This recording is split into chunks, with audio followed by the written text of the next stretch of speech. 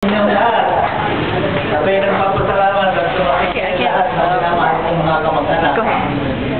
Ganyan din, nagpapasalamat ako sa aking mga anak na na nagpuyat Ikaw po eh.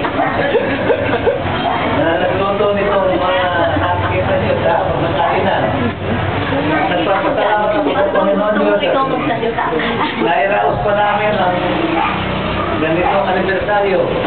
Alam niyo ito, nung mayroon binalakad sa akin, get together lang daw. Nung tayo, nung family ni ni Nena, saka yung family ko, mag-get together daw lahat. Kasi bayan ako. Eh, ngayong hapon, nakita ko, eh, may happy 60th wedding yun, dapat. Kasi happy 60th wedding anniversary. Eh, ngayon, nagpapasalamat ako sa aking apo. Kanina nila nilamay. Nilamay nila kagabi gayon yan. Kapil ng bell. Ah, ngayon, Mga picture pa nga yan. nagpapasalamat ako sa aking mga apo. Narating din. Eh, ngayon, ang magkakalit na lang sa inyo ay maraming salamat sa inyo sa kapano kayo sa aking 60th wedding anniversary. Naway, makarating pa ulit sa 76.